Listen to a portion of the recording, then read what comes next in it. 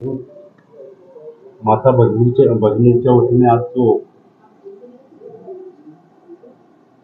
जाहीर निषेध नोंदव नोंदवण्यासाठी आज एक मूकमोर्चाचं आयोजन केलं. त्या मूकमोर्चामध्ये संविधान बचाव कृती समिती भोजनवादी संविधानवादी माता भगिनी वडीलधारे युवक मंडळी यांनी सर्वांनी यामध्ये समावेश घेऊन समा समावेश करून एक चांगल्या पद्धतीनं मूक मोर्चाचे समर्थक म्हणतात ते कट्टर समर्थक म्हणतात त्यांनी प्रशांतभाऊ वाघोदे यांना फोनवरती धमक्या दिल्या. काही व्हिडिओद्वारे अश्लील भाषेत स्वीकार केली.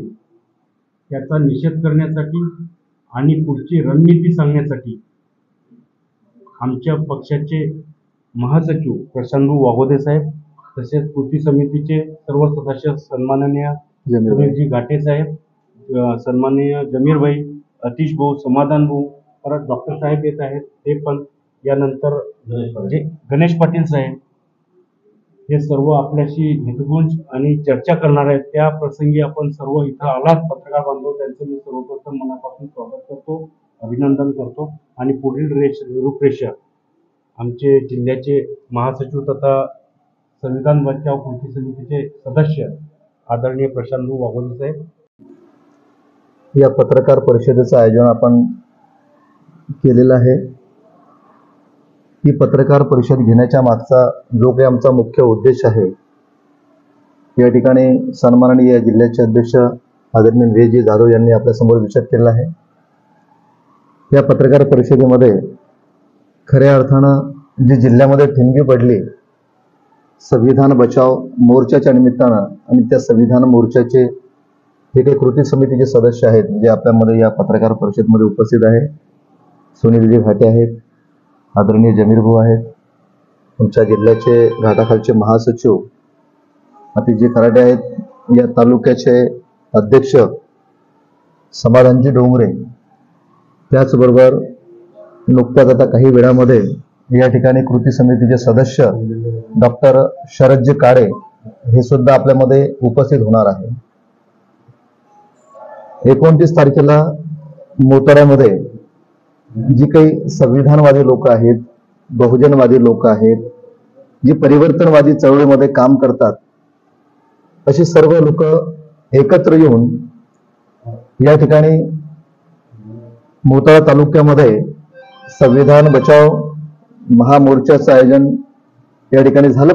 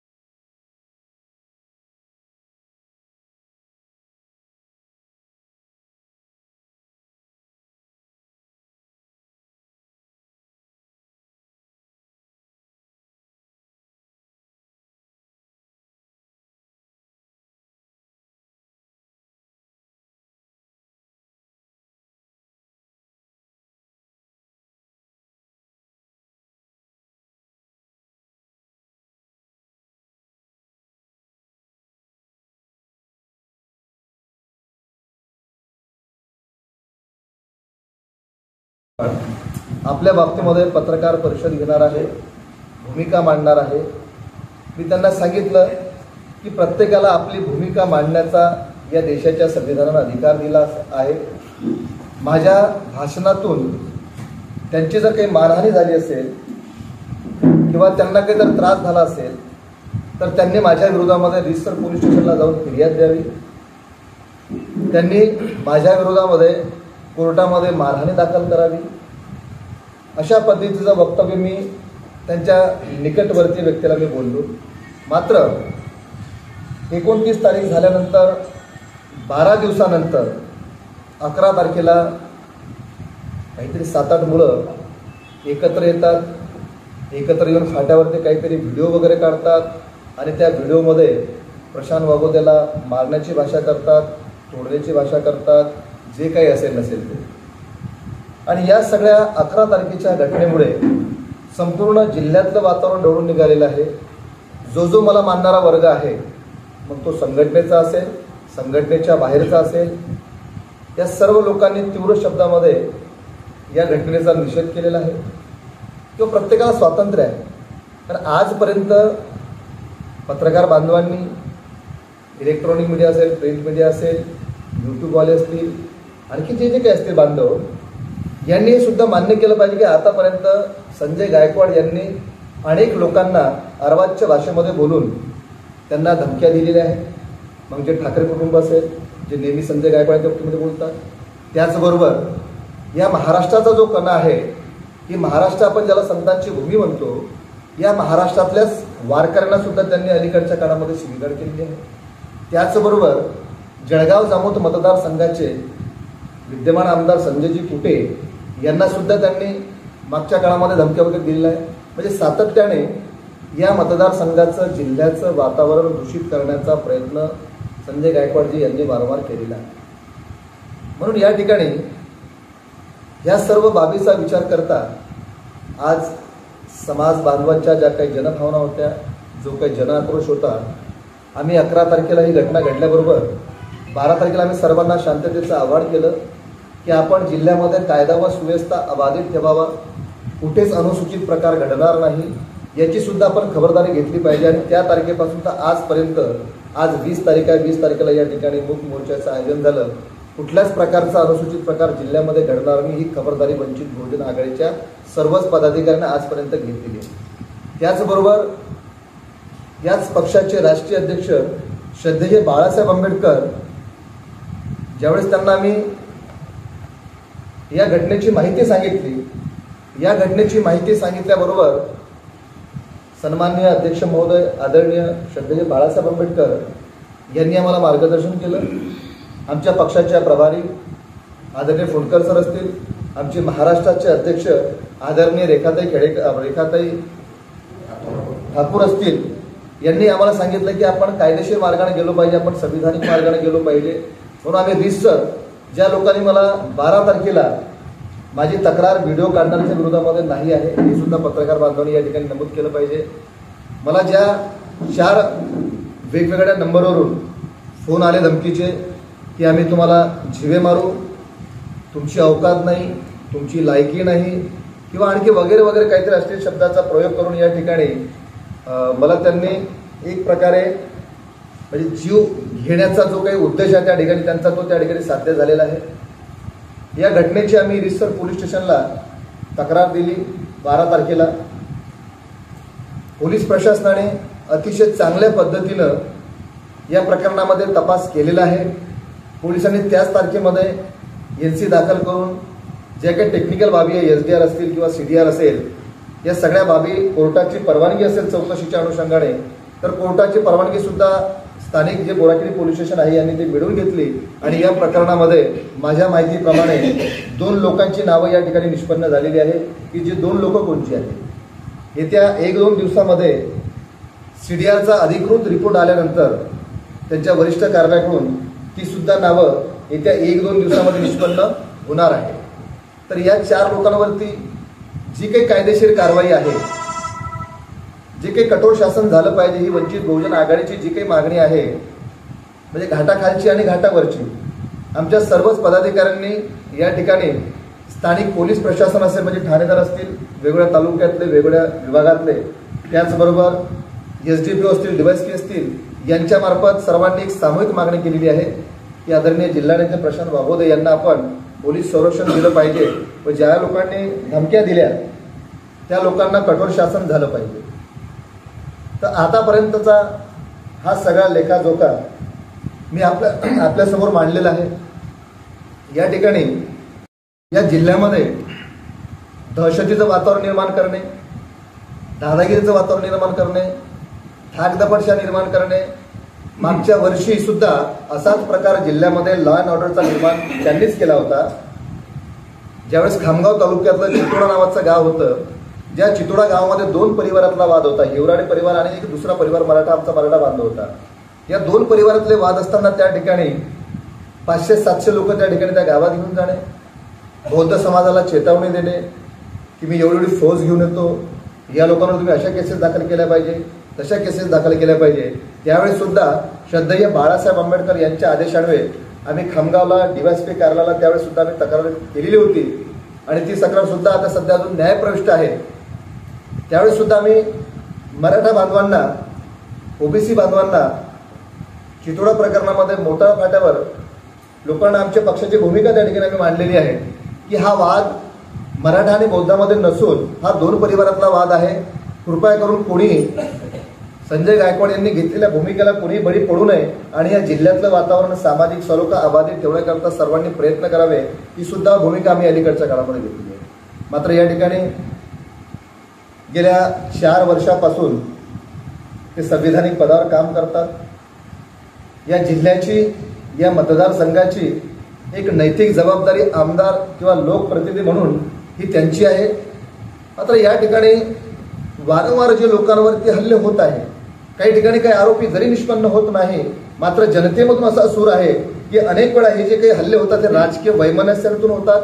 जसं उदाहरणार्थ या ठिकाणी कोणीतरी अनंता दिवाने नावाची व्यक्ती या तालुक्याची ज्यांनी ठाकरे गटाचं नुकतंच म्हणजे मागच्या वर्षामध्ये ज्यांनी तालुका अध्यक्षपद मिळवलं होतं त्यांच्यासुद्धा काही अज्ञात व्यक्तींनी म्हणजे आता पोलिसांच्या भाषेत जर म्हटलं तर अज्ञात व्यक्तींनी वाघजाळ फाट्यावरती हल्ला केला होता. तर या ठिकाणी हे सर्व जे काही जिल्ह्यामध्ये चालू आहे सर्वांना सर्व श्रुत आहे. लोकांच्या मनामध्ये एक भीती निर्माण झालेली आहे. बुलढाणा शहरामध्ये विशेष करून आज सामान्य नागरिक हा असुरक्षित आहे. मी अलीकडच्या काळामध्ये एक स्टेटमेंट केलं होतं ज्यावेळेस गोराकिडी पोलीस स्टेशनचे पी आय आदरणीय गीते साहेब यांना एका प्रकरणामध्ये जा विचारणा करता गेलो होतो की आम्ही ज्या जिल्ह्यामध्ये राहतो ज्या तालुक्यामध्ये आम्ही राहतो हे बिहार राज्य आहे की काय असा प्रश्न आम्हाला पडला. कारण या देशामध्ये लोकशाही आहे. या देशामध्ये कायदे आहेत. या देशामध्ये हुकुमशाही नाही आहे किंवा हिटलरशाही नाही आहे तर या देशामध्ये प्रत्येकाला कायद्याने समान अधिकार दिलेला आहे.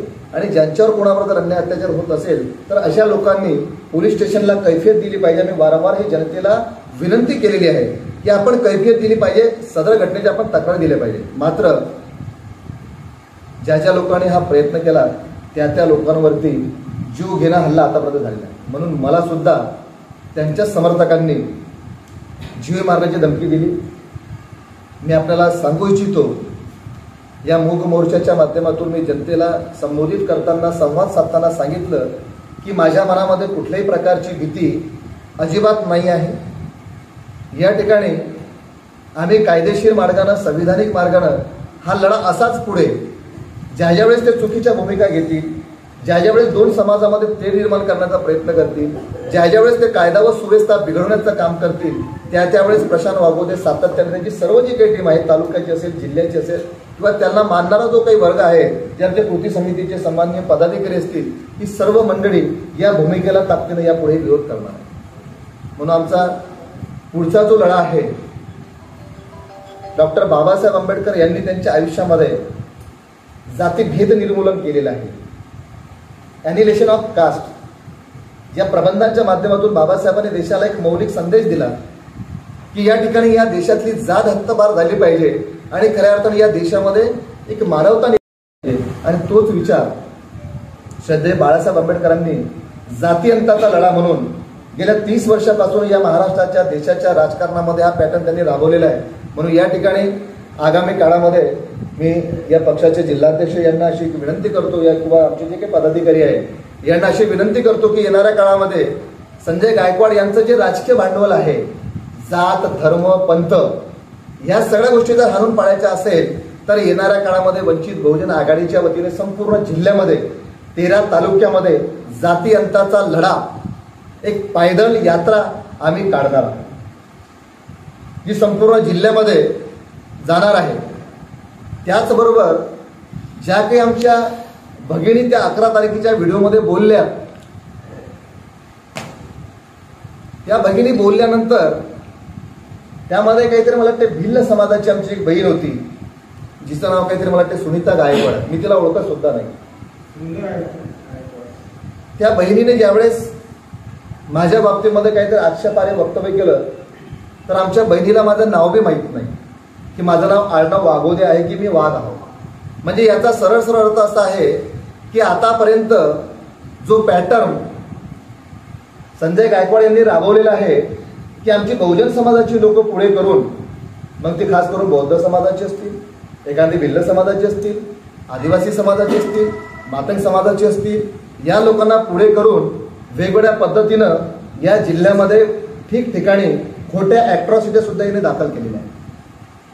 आम्ही जिल्हा पोलीस प्रशासनाला आता विनंती करणार आहोत. या ठिकाणी आगामी काळामध्ये आम्ही हायकोर्टामध्ये रिट पिटिशन सुद्धा दाखल करणार आहोत की ज्या ज्या लोकांनी खोट्या ऍक्ट्रेसिटी दाखल केलेल्या आहेत या सगळ्या प्रकरणाचा तपास झाला पाहिजे चौकशा झाल्या पाहिजे आणि यांच्यावर कायदेशीर कारवाई झाली पाहिजे. काय कायदेशीर कारवाई झाली पाहिजे मला कायद्याबद्दल जास्त सांगण्याची आवश्यकता नाही आहे. या ठिकाणी प्रशासनाचे लोक उपस्थित आहेत.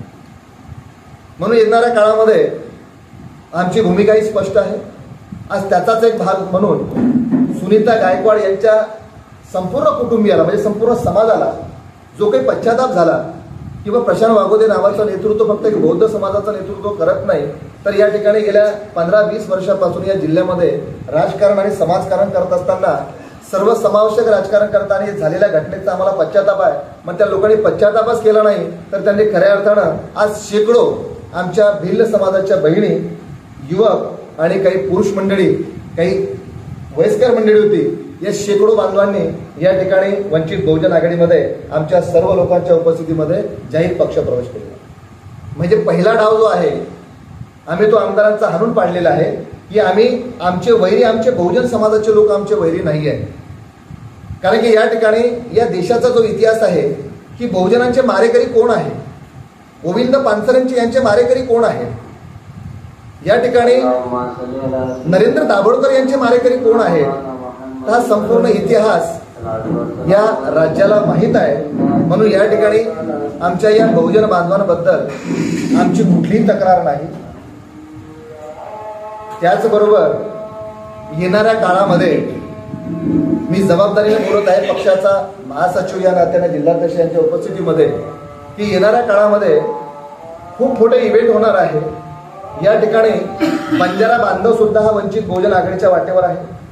त्याचबरोबर या ठिकाणी धनगर समाज सुद्धा वंचित बहुजन आघाडीच्या वाटेवर आहे.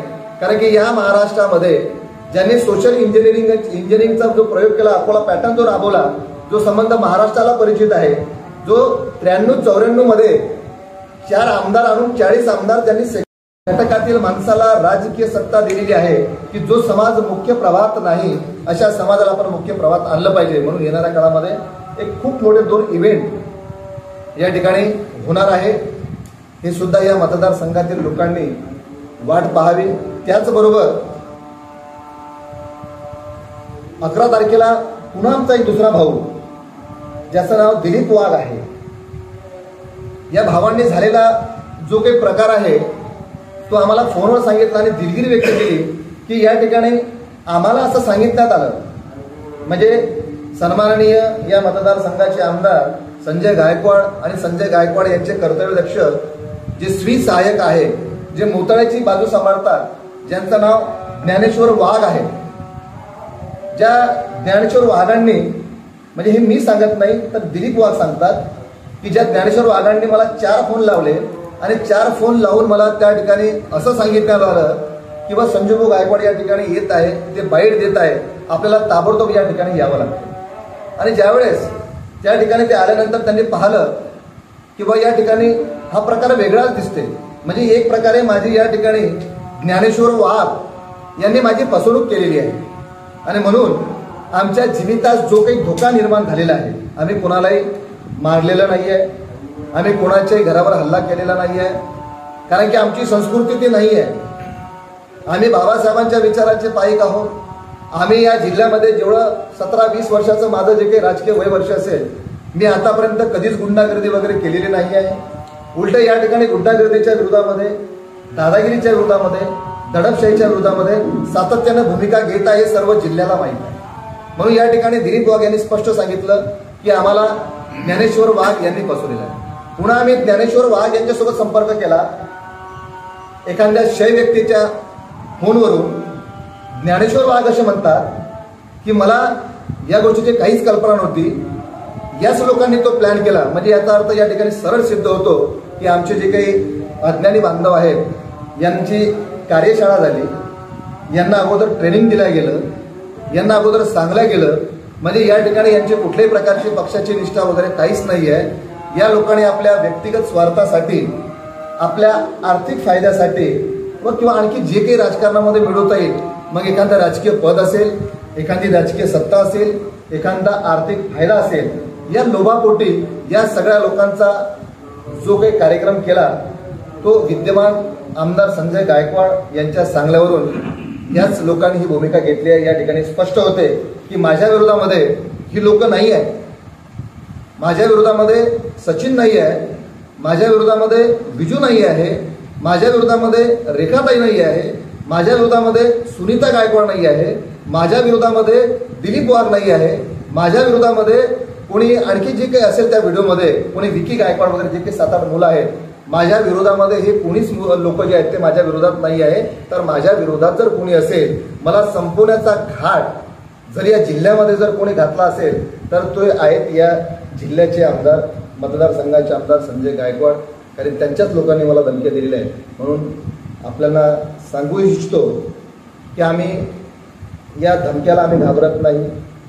आम्ही दादागिरीला जुमानत नाही. जर प्रसंग जर आला तर पुन्हा आम्हाला या ठिकाणी तथागत भगवान गौतम बुद्धांनी अहिंसा सांगितलेली आहे. पण पुन्हा एका ठिकाणी एक क्रांतिकारक बुद्ध आम्हाला हे सांगतात की जर कोणी आपल्यावर हल्ला करत असेल जर आपल्याला कोणी जीवे मारण्याचा प्रयत्न करत असेल म्हणजे बुद्ध एका ठिकाणी म्हणतात की हिंसा करू नका पण एखादा विषारी नाग असेल एखादं पिसाळलेलं जनावर असेल ते जर तुम्हाला मारायला येत असेल तर आपण त्याचा प्रतिकार केला पाहिजे त्याचा वध आपण आपल्या स्वतःच्या बचावाकरता केला पाहिजे म्हणून याच्यापुढे जर अशी परिस्थिती जर निर्माण झाली तर आम्ही आज शांत आहोत. आज आम्ही कुठल्याही प्रकारचं कृत्य आमच्या हातून घडलेलं नाही आहे आणि इथून पुढे सुद्धा आमचं पोलीस प्रशासनाला चांगल्या पद्धतीनं सहकार्य राहणार आहे. मात्र वारंवार जर अशा प्रकार असा प्रकार जर वारंवार जर होत असेल तर येणाऱ्या काळामध्ये जसं मागील काळामध्ये मी बोललो होतो बोराखेडी पोलीस स्टेशनमध्ये चितोडा प्रकरणामध्ये निवेदन दिल्यानंतर की आपण युद्धाची तारीख युद्धाची वेळ युद्धाचं ठिकाण निश्चित करावं. आम्ही कधीही युद्ध करायला तयार आहोत. म्हणजे वारंवार म्हणताना एकदा ही साधी म्हण एक मराठीमध्ये की एकदार मरे त्याला सगळं जग लढे म्हणजे एकदा माणूस मेल्यानंतर त्याला सगळं जग लढते ना. पण बार बार मरे त्याला कोण लढेल? बरोबर आहे की नाही? त्यामुळे आता या मतदारसंघातील लोकांचा जनतेचा हा कौल आहे की बाबा यांनी ज्या माणसांनी यांच्या विरोधात भूमिका मांडली काही लोकांनी त्यांचं असं म्हणणं आहे किंवा मी त्यांना शिवीगाळ केली मोताळ्या सभेमध्ये अरबाजच्या भाषेत बोललो. काही लोकांचं म्हणणं आहे किंवा धामणगाव बडेच्या सभेमध्ये मी सुद्धा त्यांना शिवीगाळ केली आहे. तर ज्यांच्याकडे पुरावा असेल किंवा मी त्यांना धामणगाव बडेच्या सभेमध्ये शिवीगाळ केली त्यांनी पुरावे सादर करावे माझ्या विरोधामध्ये? मोताळ्या सभेमध्ये मी त्यांना शिवीगाळ जर केली असेल तर माझा जो काही एकोणतीस मिनिटाचा व्हिडिओ आहे जो संपूर्ण जिल्ह्यामध्ये व्हायरल झालेला आहे त्यामध्ये जर मी त्यांना त्यांच्या कुटुंबाबद्दल बोललो असेल किंवा त्यांना मी जर अश्लील शिवीगाळ जर केली असेल तर या ठिकाणी सर्व सर्व पत्रकार बांधवांच्या उपस्थितीमध्ये मी सांगतो की मी या ठिकाणी राजकीय संन्यास घेईल जर मी त्यांना शिवीगाळ केली असेल. फक्त एकच आहे त्यांना शिवराळ भाषा समजते मला सुद्धा त्यांना शिवराळ भाषेमध्ये उत्तर द्यायला आवडते. म्हणून याचा अर्थ असा आहे की त्यांनी शेतकऱ्याला धमकी द्यावी त्यांनी वारकऱ्याला धमकी द्यावी. अरे एवढंच काय? तर ज्यांना ज्यांनी सर्व काही दिलं ज्या ठाकरे कुटुंबियांनी ज्यांना आमदारकी दिली ज्या घराण्याशी एकनिष्ठ असलेला व्यक्ती ज्यांनी पंधरा वर्ष या मतदारसंघाचं राजकारण केलं आमदार म्हणून सन्माननीय विजयराजचे शिंदे तत्कालीन आमदार जे खऱ्या अर्थानं त्या तिकिटाकरता लायकीचे होते पात्र होते त्या खऱ्या शिवसैनिकावर अन्याय झाला आणि एका डुप्लिकेट शिवसैनिकाला त्या ठिकाणी उमेदवारी दिली गेली आणि या ठिकाणी डुप्लिकेट शिवसैनिकाला उमेदवारी देऊन हा जो काही प्रकार सध्या जो काही जिल्ह्यामध्ये चालू आहे तुम्ही सर्वांना माहीत आहे की आज ज्या परिवारानं तुम्हाला आमदारकी बहाल केली ज्या या जिल्ह्याचे जे काही खासदार म्हणून जे काही नेतृत्व करतात सन्मान्य प्रतापराव जाधव साहेब ज्यांनी ठाकरे पाटील परिवाराला ज्या काही गोष्टी ज्या काही कमेंटमेंट केल्या आणि त्या कमेंटमेंट करून त्या ठिकाणी ते उमेदवारी त्यांच्या पदरात पाडून घेतले ज्या परिवाराला सगळं काही दिलं. साधं एक उदाहरण आहे त्यांच्या जवळच्या निकटवर्ती कार्यकर्त्यांचं मी नाव घेणार नाही मात्र त्या ठिकाणी ते म्हणतात की भाऊ ज्या ताटात खाल्लं त्याच ताटात तुम्ही शेत केलं. म्हणजे आम्ही याचं भान आम्हाला असलं पाहिजे. आम्ही ते वारंवार संजय राऊत यांच्यावर आम्ही टीका टिप्पणी करतो. आम्ही वारंवार ठाकरे परिवारावरती आम्ही टीका टिप्पणी करतो. तर प्रत्येकानं मला जसं काही लोक बोलले की भाऊ तुमची लायकी आहे बरोबर आहे माझी लायकणी आहे. काही लोक म्हणतात की भाऊ तुमचा संविधानाचा अभ्यास कमी आहे बरोबर आहे. काही लोक म्हणतात की बाबा भाऊंनी एवढ्या प्रकारचे बुद्ध विहार आपल्या लोकांना दिले. तर या ठिकाणी भाऊचा उद्देश काय आहे? गेल्या चाळीस वर्षापासून मी चांगल्या प्रकारे त्यांना ओळखत आहे. त्यांचा राजकीय जन्म केव्हा झाला? माझं वय वर्ष जरी चौवेचाळीसचं असेल पण या ठिकाणी चौऱ्याण्णव पासूनचा पूर्ण इतिहास मी पाहिलेला आहे. आणि आजपर्यंत खऱ्या अर्थानं या वीस पंचवीस वर्षामध्ये ज्यांनी या जिल्ह्यामध्ये राजकीय दहशत निर्माण करून असे अनेक उमेदीचे कार्यकर्ते ज्यांना संपवण्याचं काम केलं ज्यांच्यावर अनेक प्रकारचे प्रहार आतापर्यंत केले तर या ठिकाणी कुठेतरी निसर्गामध्ये एक न्याय असतो. प्रत्येक गोष्टीचा एक अंत असतो. आणि प्रत्येक गोष्टीची एक मर्यादा असते. म्हणून या ठिकाणी नुकतंच मी माझ्या एका भाषणामध्ये एक वक्तव्य केलं की माझे गुरु ज्यांना मी माझा गुरु मानतो ज्यांच्या तालमेलीत मी घडलो जे माझे शिक्षक होते ज्यांनी मला एक मूलमंत्र दिला की प्रशांत लातो के भूत बातोचे नाही म्हणतात हे बिडीबडी सर म्हणतात. म्हणजे काही काही ठिकाणी कसं असतं की आम्ही शांततेच्या मार्गाने आहोत संयमाच्या मार्गाने आहोत आम्ही या ठिकाणी वारंवार कायदेशीर मार्गाने आम्ही जात आहोत असं असताना सुद्धा या ठिकाणी हा जो काही सर्व जिल्ह्यामध्ये प्रकार चालू आहे याचा सुद्धा आम्ही या ठिकाणी निषेध करत आहे. आता या मतदारसंघातील लोकांनी तुम्हाला नाकारायला कशी सुरुवात केली एक उदाहरण मी तुम्हाला सांगतो. अलीकडच्या काळामध्ये बऱ्याचशा काही तत्कालीन लोकांनी ज्यांनी या मतदारसंघाचं नेतृत्व केलं किंवा काही लोकांनी समाजाचं नेतृत्व केलं या मोताळ तालुक्यामध्ये ग्राम तळणी असेल ज्या तळणीमध्ये नातागो खडसे जे मला वाटते त्यावेळेस कृषी मंत्री होते. कृषी मंत्री होते महसूल मंत्री होते. आणि मला वाटते अगोदर त्यावेळेस ते भाजपमध्ये होते. भाजपमध्ये असताना त्यांनी शंभर कोटी रुपये या ठिकाणी तळणी गावाला मेडिकल कॉलेज करता त्यांनी उपलब्ध करून दिले. विद्यमान आमदारांनी ते कॉलेज बुलढाण्यामध्ये नेलं. आणि आता आपल्या स्वतःच्या फायद्यासाठी या ठिकाणी जे काही टेक्स्टाईल पार्क उभं करण्याचा त्यांचा जो काही घाट आहे तर हे सुद्धा या ठिकाणी मी सांगू इच्छितो की तिथल्या ग्रामस्थांना मी धन्यवाद देतो. तिथल्या ग्रामपंचायतच्या सर्व बॉडीला मी धन्यवाद देतो. तिथल्या गावचं प्रथम नागरिक म्हणून नेतृत्व करणारे तिथले सरपंच या सगळ्या लोकांनी त्यांचा डाव हाणून पाडला. त्यांना एनओसी दिलेली नाहीये. त्यांनी सांगितलं की आम्हाला आता टेक्स्टाईल पार्कची गरज नाही आहे म्हणजे याचा अर्थ सरळ सरळ असा आहे की या ठिकाणी आता मतदारसंघामध्ये तुम्हाला लोकांनी नाकारण्याला सुरुवात केलेली आहे ठिणगी पडलेली आहे. संविधान बचाव रॅलीमध्ये चार हजार लोक उपस्थित होते आणि खऱ्या अर्थानं त्याचाच भाग म्हणून तो अकरा तारखेचा व्हिडिओ आहे. म्हणून अशा या प्रकारच्या ज्या काही दादागिऱ्या सध्या चालू आहे या दादागिरीला आम्ही भीक घालणार नाही. त्याचबरोबर दुसरी जी आम्ही भूमिका आहे जी आम्ही सांगितलं की जातीयंताचा लढा पुन्हा आम्ही या ठिकाणी बाळासाहेब आंबेडकरांनी या महाराष्ट्रामध्ये देशाच्या राजकारणामध्ये वेगवेगळ्या भूमिका घेतलेल्या आहेत. त्याच भूमिकेचा एक भाग म्हणून वेगळा विदर्भ झाला पाहिजे. ही सुद्धा मागणी आगामी काळामध्ये वंचित बहुजन आघाडीच्या वतीने संपूर्ण विदर्भाचा दौरा करून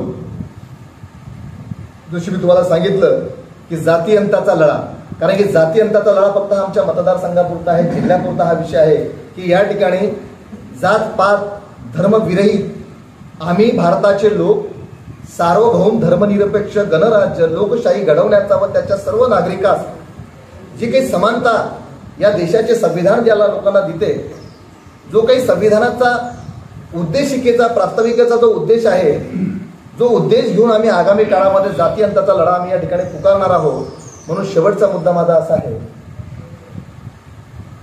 की विद्यमान आमदार यांनी एकशे चाळीस काहीतरी बुद्धविहार आणले असे माझ्या माहितीप्रमाणे असं लोक सांगतात. वंचित बहुजन आघाडीच्या पलीकडे माझा एक लोकलढा आहे. कारण माझा जन्म हा सामाजिक आणि धार्मिक चळवळीत झालेला आहे. मी राजकारणात नंतर आलो आणि हा लढा व्यापक करत असताना माझ्या सर्व सहकाऱ्यांना घेऊन मी गावागावामध्ये जाऊन त्या ठिकाणी बहुजन समाजातील लोक असतील बौद्ध समाजातील लोक असतील यांना एक सामाजिक लोकपरिवर्तनाचा लढा म्हणून या ठिकाणी हा प्रोग्राम आम्ही राबवत आहे आणि त्या लोकलढ्यामध्ये प्रामुख्याने मी लोकांना सांगतो की ज्या पद्धतीनं मस्जिद असतील विहार असतील बुद्धविहार असतील मदरसे असतील ही सुसंस्कृत माणसं घडवण्याचे कारखाने असतात.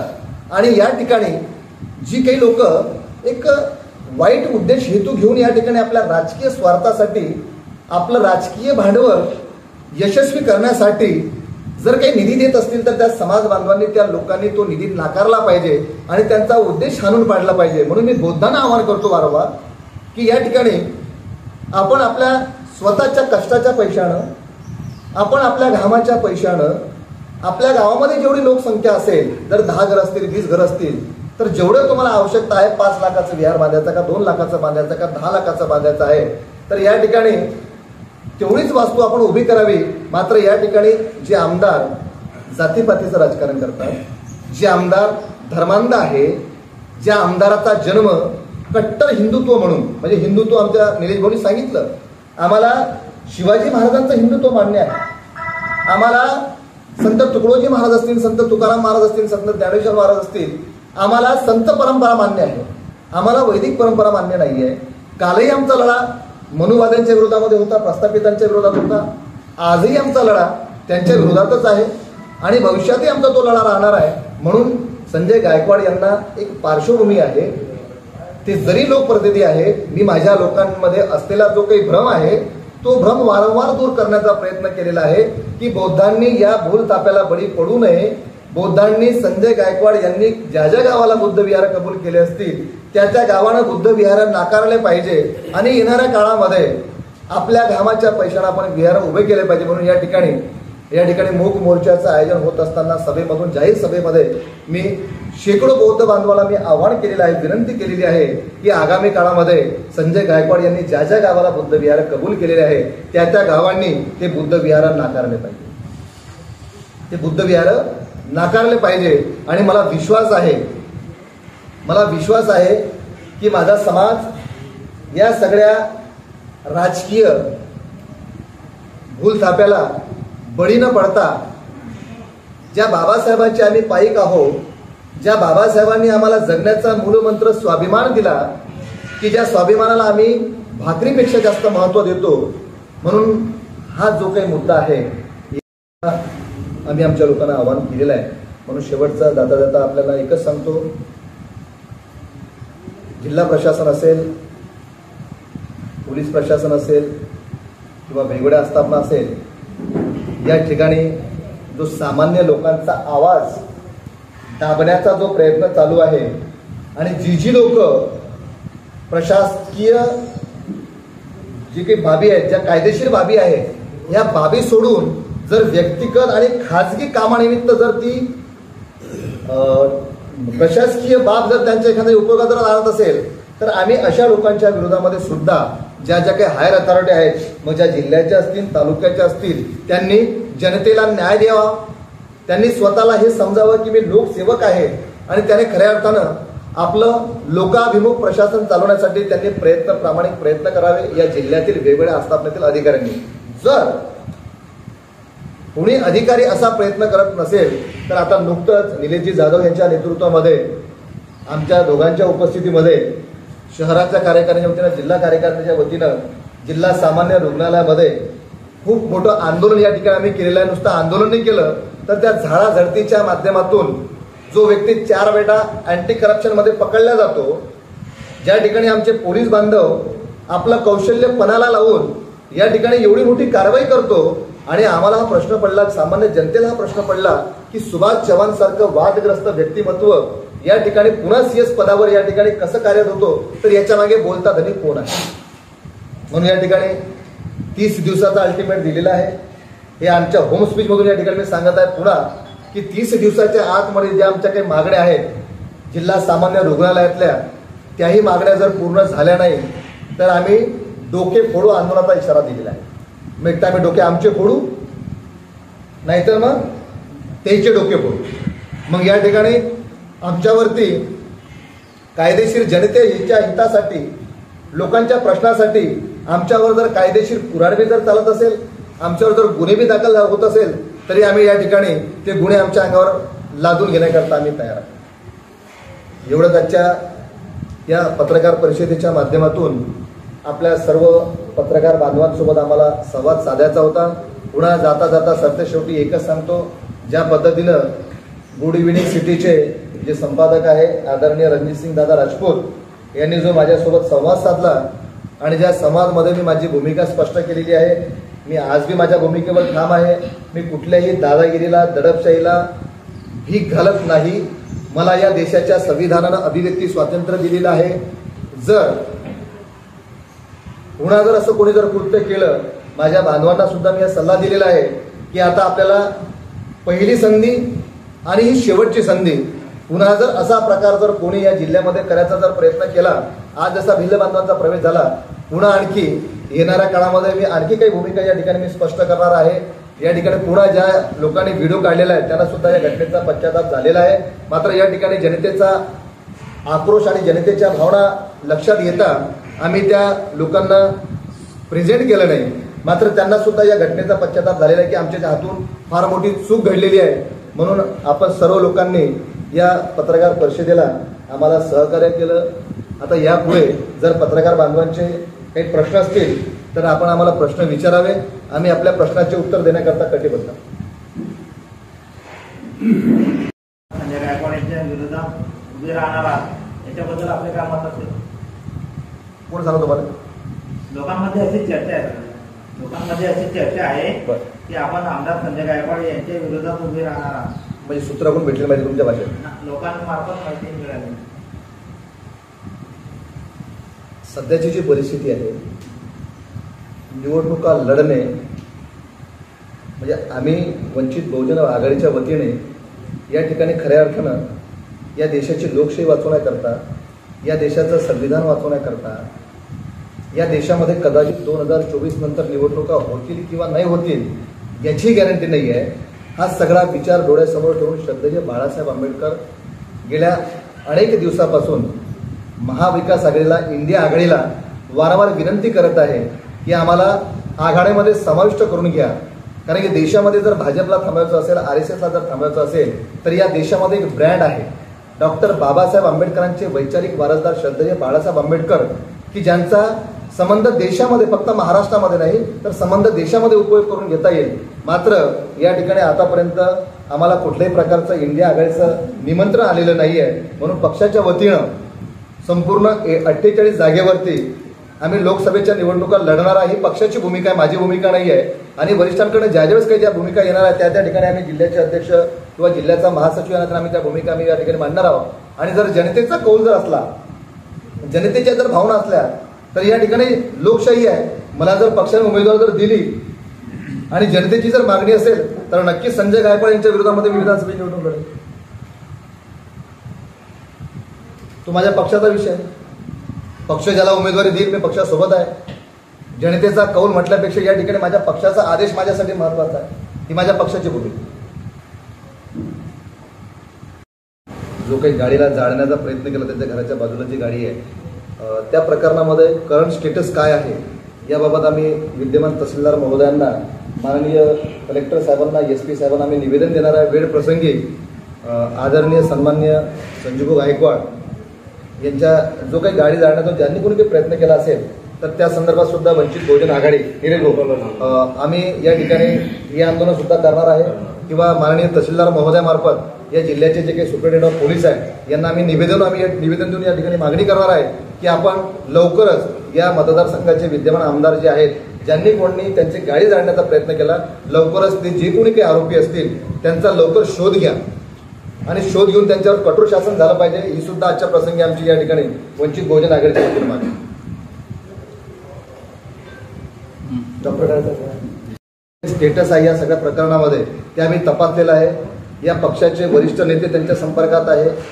त्यामुळे या ठिकाणी जिल्हा पोलीस प्रशासन असेल किंवा स्थानिक पोलीस प्रशासन असेल कुठल्याही प्रकारच्या म्हणजे जो काही दबाव तंत्राचा भाग आहे या दबावाला कुठल्याच प्रकारचं पोलीस प्रशासन बळी पडलेलं नाही आहे लवकरच जी काही कायदेशीर कारवाई आहे ज्या अनुषंगाने आम्ही फिर्याद दिलेली आहे बोराखील पोलीस स्टेशनला तर या ठिकाणी येत्या एक दोन दिवसामध्ये कारण या ठिकाणी ज्या काही टेक्निकल बाबी असतात कारण हा आय टी सेलचा गुण आहे. यामध्ये ज्या ज्या काही भूमिका आम्हाला पुढे घ्यायची असेल किंवा फक्त नुसतं एनसी दाखल करून भागणार नाही. तर या ठिकाणी आणखी त्यांच्यावरती प्रतिबंधात्मक कारवाई करता येईल का?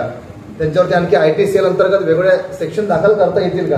किंवा आणखी कोर्टामध्ये जाऊन आणखी स- म्हणजे त्याला सपोर्ट म्हणून आणखी काही करता येईल का? हे सुद्धा आमचे प्रयत्न या ठिकाणी मात्र या ठिकाणी ज्या टेक्निकल बाबी आहे जोपर्यंत सीडीआरचा रिपोर्ट येत नाही तोपर्यंत अधिकृत ती व्यक्ती कोण आहे काय आहे हे कोणाचे नंबर आहे हे व्हेरीफाय होत नाही म्हणून आपण सुद्धा पोलिसांना सहकार्य केलं पाहिजे. येत्या एक दोन दिवसामध्ये पोलीस बांधव या ठिकाणी या सगळ्या प्रकरणाचा छडा लावणार आहे त्यामुळे पोलिसांवरती कुठल्याही प्रकारचा दबाव नाही आहे. या ठिकाणी मी जबाबदारीने आणि खात्रीने बोलतो. बुद्धविहार आहे शासनाचा पैसा आहे शासनाचा निधी आहे. याबाबत मी जो काही विरोध केला आहे या ठिकाणी त्यांची भूमिका मी पार्श्वभूमी सांगितली. मात्र आणखी पुढे जाऊन आपण जो काही प्रश्न विचारला तर माझं आमदार महोदयांना म्हणजे आव्हान म्हणता येणारी विनंती आहे माझी की ज्या पद्धतीनं रस्ता बांधकाम असेल व्यायामशाळा असेल बंधारे असतील किंवा आणखी जी काही विकासाचे काम आहे की आज रिबिन कापल्या जाते आज. आणि दुपारी कामाला सुरुवात होते. आज रिबिन कापलं जाते आज दुपारी कामाला सुरुवात होते. आणि एक म्हणजे आज पंधरा दिवसांमध्ये किती कोटीचे कामं झाले कारण आपल्या जिल्ह्यामध्ये आतापर्यंत आम्ही एवढा पैसा कधीच पाहिलेला नाही अनेक आमदार या जिल्ह्यामध्ये होऊन गेले. आणि लोकांच्या चर्चा आहे. लोक सांगतात किंवा ते विकासाचे महामेरू आहेत वेगवेगळे त्यांना विशेषण लोकांनी दिलेले आहेत. त्यांनी जे काही डेव्हलपमेंट केलेलं आहे मग या ठिकाणी आम्हाला हा प्रश्न पडलेला आहे की बाबा आतापर्यंत जेवढे काही विकासाचे कामं झालेले आहेत ते वेळेच्या आत म्हणजे जी काही वर्क ऑर्डर आहे आपल्याला सर्वांना टेक्निकल भाषा समजते. वर्क ऑर्डरमध्ये एक निर्धारित वेळ असतो आणि त्या ठिकाणी त्या एजन्स्या वेळेच्या आत काम करून या ठिकाणी खऱ्या अर्थानं प्रशासनाला सहकार्य करून सगळ्या पद्धतीनं काम कंप्लीट सर्टिफिकेट आपण ज्याला म्हणतो त्या पद्धतीने कंप्लीट करत आहे. तर माझा आमदार महोदयांना हा एक प्रश्न आहे की कदाचित आगामी काळामध्ये होणाऱ्या स्थानिक स्वराज्य संस्थेच्या निवडणुका डोळ्यासमोर ठेवून त्याच्या गावातील आमच्या अज्ञानी लोकांना जे अपवाद आहे हे लोक आमचे सुशिक्षित आहे सुशिक्षित लोक त्याला बळी पडत नाही. म्हणून अज्ञानी लोकांना रोज आपल्या कार्यालयावर बोलून कधी कोणाला डिझाईन दाखवलं जाते कधी कोणाला इस्टिमेट दाखवलं जाते कारण आमच्या लोकांना टेक्निकल बाबी समजत नाही म्हणून अशी आमची विनंती आहे. की आमदार साहेबांनी जे काही एकशे चाळीस बुद्धविहार गेल्या दीड महिन्या अगोदर म्हणजे वर्तमानपत्रामध्ये लागलेली बातमी किंवा आमदार साहेबांनी सभागृहामध्ये हा तारांकित प्रश्न उचललेला आहे.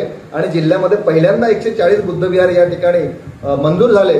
आणि बौद्ध बांधवांच्या वतीने त्यांचा मला वाटतं जाहीर सत्कार याच प्रिमायसिसमध्ये राजगुरू बुद्धविहारामध्ये सुद्धा मोठा तालुक्याच्या वतीने लोकांनी केलेला आहे. म्हणून त्यांनी हे बुद्धविहार निवडणुका होण्याच्या आधी निवडणुका होण्याच्या आधी त्यांनी ज्या पद्धतीने ते विकास कामं सध्या मतदारसंघामध्ये करत आहे. त्याच पद्धतीनं आज मी ज्या पद्धतीने विनंती केली कदाचित त्यांनी उद्यापासून ते एकशे चाळीस बुद्ध विहार त्यांच्या एजन्सी मार्फत चालू करावी अशी आमची मागणी. स्थापना जवळपास एक ते दीड महिन्या अगोदर माननीय आमचे जवळचे मित्र आमचे बंधू प्रशांत भाऊ वागोदे जमीरभाई निलेश भाऊ गजूभाऊ मामलकर सुनील भाऊ गाटे समाधान भाऊ डोंगरे आतिशबाई त्यानंतर भरपूर पत्रकार मंडळी ज्यांचं मी या ठिकाणी नाव नाही घेणार. अशा सर्वांनी मिळून या ठिकाणी या कृती समितीची जी स्थापना केली या कृती समितीचा ॲक्च्युअल उद्देश जो होता हा उद्देश हा होता की बा केंद्रामध्ये जे मोदी सरकार आहे हे मोदी सरकार आज जे या ठिकाणी बहुजन समाजाची जी लोक आहेत ज्यांचं मुख्य प्रवाहामध्ये यायचं साधन शिक्षण आणि नोकरी ह्या दोन गोष्टी आहेत. आणि ते जर या ठिकाणी थांबवते तर मग बहुजन वर्गातला माणूस पुढे अपग्रेड कसा होणार मोठा कसा होणार ह्याच्यासाठी खरोखर या संविधान बचाव कृती समितीची स्थापना झाली. परंतु त्याच्या समर्थनार्थ जी काही लोक या ठिकाणी तीन ते चार हजार लोक या ठिकाणी आली त्या लोकांनी हे दाखवून दिलं की बा या तालुक्यामध्ये आम्ही जे काही करतोय ते एकदम व्यवस्थित करतोय. आणि त्यांनी त्यांचं समर्थनही त्या दिवशी आम्हाला दाखवून दिलं. आणि भविष्यात सुद्धा या कृती समितीच्या वतीने जे काही निर्णय बहुजन समाजाची काही मंडळी असतील ज्यांच्यावर अन्याय होत असेल मग तो नगरपालिका प्रशासनामार्फत होत असेल तो तहसीलदारामार्फत होत असेल कृषी विकासा कृषी विभागामार्फत होत असेल ग्रामपंचायत मार्फत होत असेल किंवा कोणत्याही पक्षाच्या कोणत्याही पदाधिकाऱ्याकडून जर होत असेल तर या ठिकाणी ही संविधान बचाव कृती समिती जी आहे ही या अन्यायाच्या विरुद्ध रस्त्यावर उतरणार आणि अन्यायाविरुद्ध लढणार.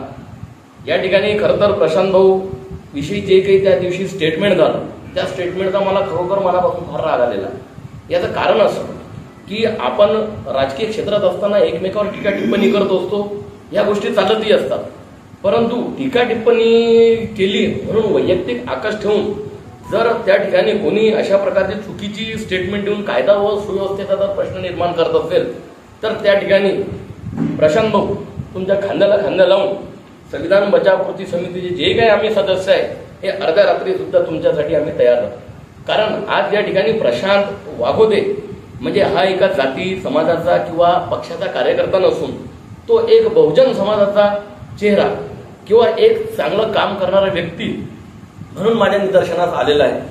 आमची मैत्री फार जुनी आहे आणि इवन चांगल्या कामातूनच आमची मैत्री झालेली आहे. माझे भरपूर काही जे तत्व आहे ते प्रशांत भाऊशी त्या ठिकाणी मिळतात. आम्ही प्रत्येक विरुद्ध आमचा लढा जो राहिलेला हा प्रस्थापितांविरुद्धच राहिलेला आहे.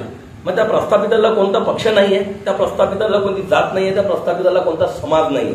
जिथं जिथं अन्याय होत असेल त्या अन्यायावर ही संविधान बचाव कृती समिती जी आहे ही खुलेआम यापुढे रस्त्यावर उतरणार आहे. आणि या संविधान बचाव कृती समितीच्या वतीने मी या तालुक्यातील या जिल्ह्यातील सर्व लोकांना एक इशारा देऊ इच्छितो की कोणत्याही प्रकारचा अन्याय अत्याचार या ठिकाणी खपून घेतल्या जाणार नाही. आणि निरनिराळ्या ज्या संस्था आहेत त्या संस्थांमार्फत जे काही घाणेरडे आणि करप्शन किंवा भ्रष्टाचाराचे कामं होत असेल या कामासाठी सुद्धा यापुढे आम्ही रस्त्यावर उतरून प्रत्येक भ्रष्टाचाराचे झेंडवडे काढल्याशिवाय आम्ही ठिकाणी राहणार नाही. जय हिंद जय महाराष्ट्र. सध्या अशी चर्चा आहे की कुठेतरी सध्याची परिस्थिती आहे त्याचा तुम्ही कुठेतरी राजकीय फायदा घेणार समाजाला एकत्र करून काय सांगाल? या ठिकाणी मी अगोदरच बोललेलो आहे की या देशामध्ये किंवा जिल्ह्यामध्ये मतदारसंघामध्ये फुले शाहू आंबेडकर हा विचार टिकला पाहिजे. या जिल्ह्यामध्ये लोकशाही आहे आणि ही जी काही दादागिरी आहे दडपशाही आहे याच्या विरोधामध्ये मी आज भांडत नाही. तर आपण माझ्या भूमिका अलीकडच्या काळामध्ये ज्या आहेत त्या अलीकडच्या काळातल्या भूमिका सुद्धा आपण माझ्या तपासल्या पाहिजे. किंवा आज फक्त मोर्चाच्या निमित्तानं ही जी ठिणगी पडली पण याच्या आधी जेव्हापासून माझा राजकीय जन्म झालेला आहे तेव्हापासून सातत्यानं ह्या भूमिका मी मांडलेल्या आहे आणि मी फक्त बौद्ध समाजाचं नेतृत्व करत नसून तर या ठिकाणी ज्या गावामध्ये मी राहतो त्या गावामध्ये गेल्या दहा वर्षापासून तिथली ग्रामपंचायत सत्ता माझ्या ताब्यात आहे. तिथं ओबीसी असेल मराठा असेल इतर जी लोक असतील या सर्वांना सोबत घेऊन त्या ठिकाणी मी राजकीय सत्ता मिळवलेली आहे. म्हणून या ठिकाणी आपल्याला मी सांगू इच्छितो की आपण फक्त समाज म्हणून प्रश्नांकडे पाहू नये तर समाजाच्या पलीकडे जी की लोक बहुजन समाजातील असतील मराठा समाज असतील मुस्लिम समाज असतील ही लोक सुद्धा आमच्याकडे नेतृत्व म्हणून अपेक्षा पाहतात.